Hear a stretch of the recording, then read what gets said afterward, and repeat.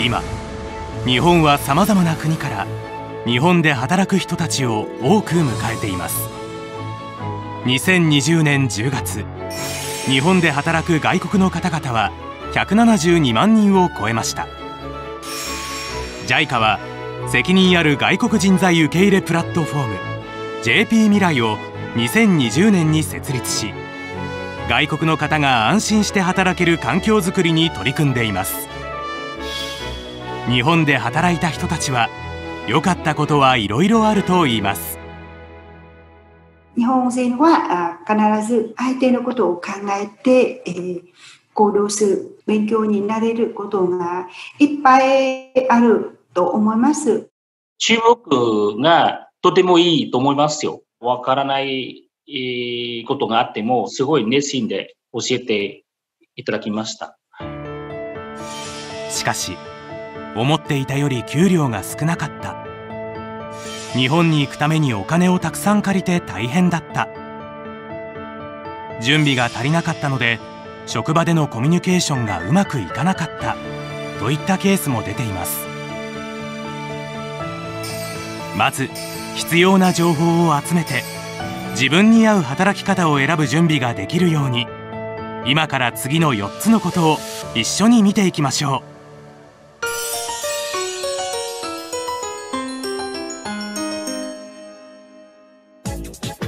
皆さんこんにちは。はじめまして。竹と言います。僕のうちのお父さんやお母さんが日本に働きに行ったらいいと言っているんだけど本当なのかな？僕も日本で働くことができるのかな？たけさんはじめまして。私は日本で働いたことがあるアンと言います。私が説明しましょう。外国人の皆さんが日本で働くためにはまず日本に来る前に日本に滞在するための資格である在留資格を1つ選ぶことが必要です。外国の方のための在留資格は全部で29種類あります。この中で日本で働く多くの人が持っている在留資格は次の3つです。また留学の資格で来日し働く人もいます。日本で経験を重ねより専門性の高い資格にステップアップすることもできます。資格ごとに日本での働き方やキャリアパスは変わりますので詳しく見てみましょう。そういえば僕のいとこは技能実習で日本に行ったと聞いた気がするな。実習っていうことは学びながらお金が稼げるってことですよね。そうですね技能実習は働きながらスキルを学ぶための在留資格です。日本の会社で働きながらその会社が持つスキルを身につける制度です。帰国してからそのスキルを自分の国で使っていくことが目的で日本が行う国際協力の一つです。仕事の内容はスキルを必要とする業務です。技能実習をしたい人は日本の会社に直接には応募しません。日本の会社は日本の管理団体を通じて技能実習生を集めます。管理団体はその多くが協同組合なので組合と呼ばれます。管理団体は皆さんの国の送り出し機関に求人を知らせます。日本の会社は送り出し機関や管理団体を通して面接をします。面接に合格すると在留資格の申請をします。申請が許可されるとその人は技能実習生となります。日本に行く前に日本語などの研修を6ヶ月から1年ほど受けます。そして日本へ行き1ヶ月間管理団体による研修を受けてから会社で働きます。途中で会社を変わることはできません。会社で働いている時も管理団体と実習生は連絡をします。困ったことがあれば働く職場の人に相談することもあるでしょうし管理団体に相談することもあります。多くの場合技能実習は3年間です。けれどもおよそ1年間だけで終わるものもあるので面接を受ける前によく確認してください。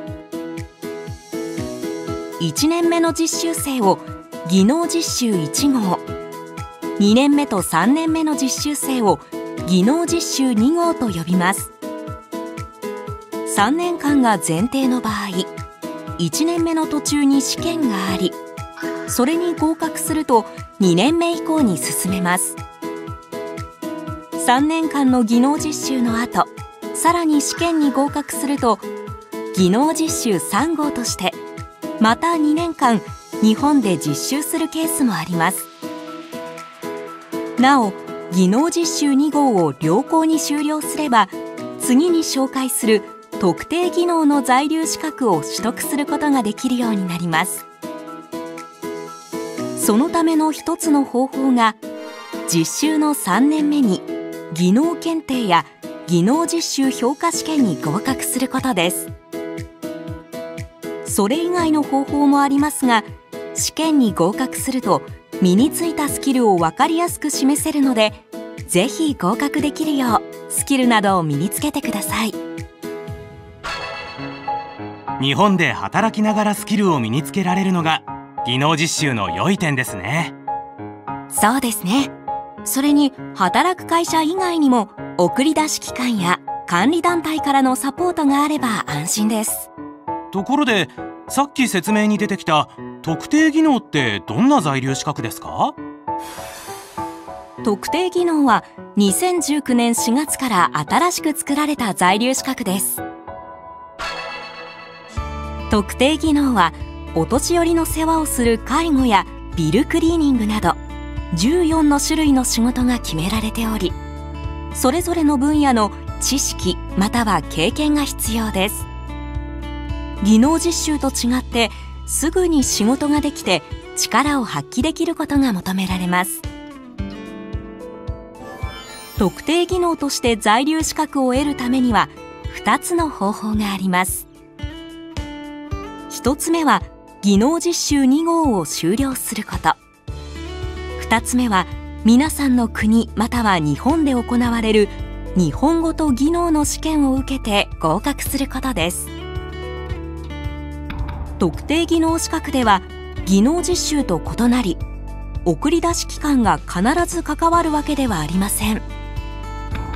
その代わり会社や登録支援機関が受け入れや日本にいる間のサポートをします。特定技能1号では期間は1年か6ヶ月または4ヶ月認められます。更新することで5年まで滞在が可能となります。家族は連れて行けません。特定技能2号はよりレベルの高い技能が必要な仕事をするための在留資格です。1号よりも難しい技能試験に合格すると取れます。5年より長く働くこともできます。さらに条件を満たせば永住申請も家族を連れて行くこともできるようになります。技能実習は働きながら学びますが特定技能はすぐに活躍できるというのが特徴ですね。長く日本に住めて家族とも一緒にいられるならば特定技能2号を目指して頑張ってみたいです。いいですね。次は技術人文知識国際業務を見ていきましょう。技術人文知識国際業務は大学などで学んだ専門的な知識を生かし専門性の高い仕事ができる在留資格です。技術は例えばエンジニア。人文知識は例えば会社の企画やマーケティング部門の仕事。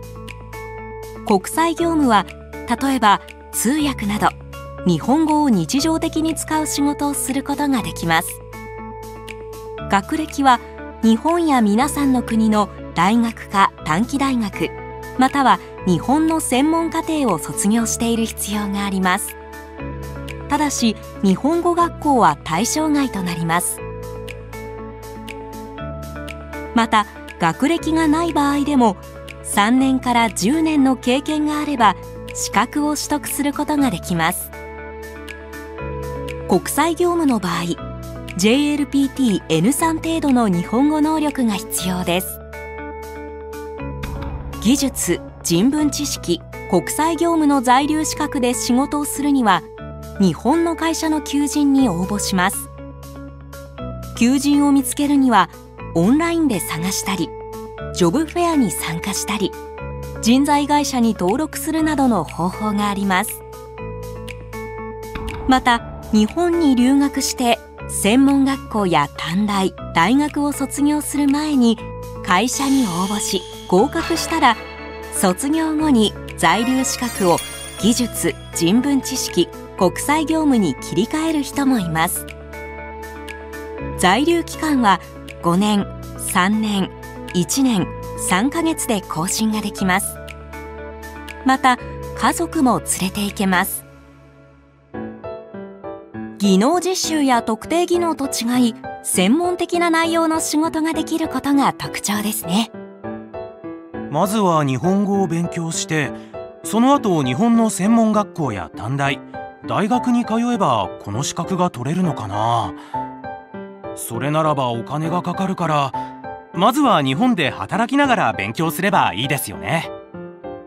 いえいえそうではありません日本ではパートタイムで働きながら勉強ができる仕送りができるという人がいますが正しくはありません。大事な点ですからよく見てみましょう。留学の在留資格では原則働くことはできません。しかし資格外活動許可を受ければ原則として1週間に28時間以内のアルバイトやインターンシップができるようになります。ただし週28時間を超えることは法律で禁じられているのです。そのため勉強しながら働き仕送りをすることは非常に困難です。留学の在留期間は4年3ヶ月を超えない範囲内で法務大臣が個々の外国人について指定する期間と定められています。進学進級など勉強を続ける場合には更新することができます。